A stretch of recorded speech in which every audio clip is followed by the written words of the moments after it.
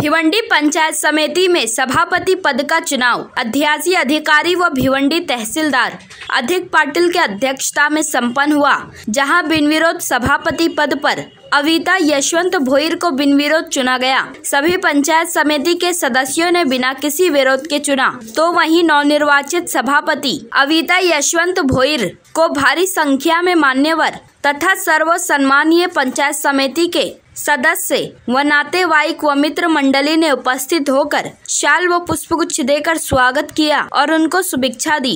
तो वहीं नवनिर्वाचित सभापति अविता यशवंत भोईर ने सभी लोगों का आभार माना।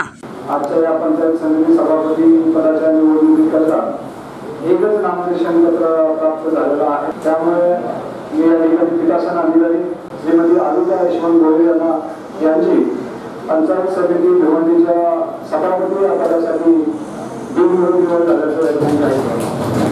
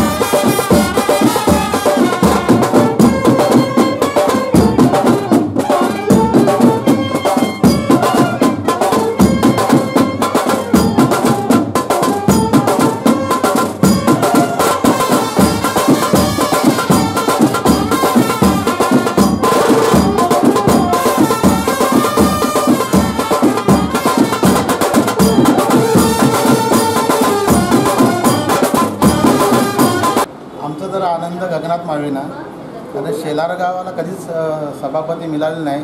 हे प्रथमच सभापती मिळालेलं आहे आणि ते आमचे माझे प्रेरणा श्रमजीवी संघटनेचे संस्थापक विवेक भाई भाऊ पंडित यांच्या मार्ग आदेशाने बी जे पीची युती झाल्यामुळं कपिल पाटील साहेब राज्यमंत्री यांनी आम्हाला देण्याचा निर्णय घेतला. आम्ही आतापर्यंत चार वर्षात आम्ही भरपूर केली.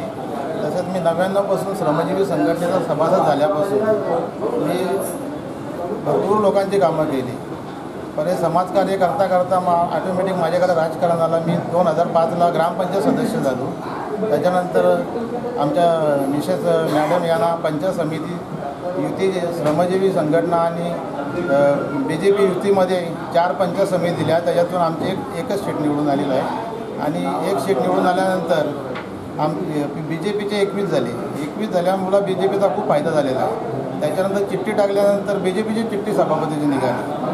त्याच्या त्यामुळे कपिल पाटील साहेबांनी तेव्हाच अ, ग्वाही दिली का मी संघट श्रमजीवी संघटनेला मी सभापतीपद दे देईनच हा शब्द दिलेला आहे. हा असे साहेब आहेत त्या एक शब्द दिला ते पाळतात त्याचा खूप आम्हाला आदर आहे. विशेष करून सर्व शेलार ग्रामपंचायतवासियांना विशेष आनंद आहे की शेलार ग्रामपंचायतमधील आमचे सहकारी चळवळीतील यशवंतजी भोईर यांच्या मिसेस सावंतिका भोईर यांची भिवंडी पंचायत समिती सभापती निवड झालेली आहे.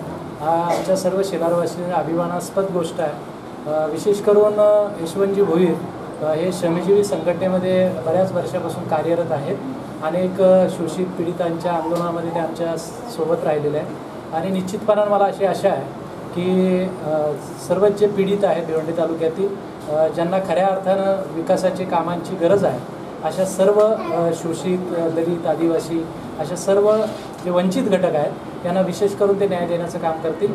मी शेलार ग्रामपंचायतचा सरपंच नात्यानं आमच्या सर्व टीमच्या वतीनं सर्व सदस्यांच्या वतीनं ग्रामपंचायतच्या स्टाफच्या वतीनं आणि विशेष करून सर्व शेलारवासियांच्या वतीनं त्यांना हार्दिक शुभेच्छा देतो आणि पुढील वाटचालीस हार्दिक शुभेच्छा देतो. धन्यवाद.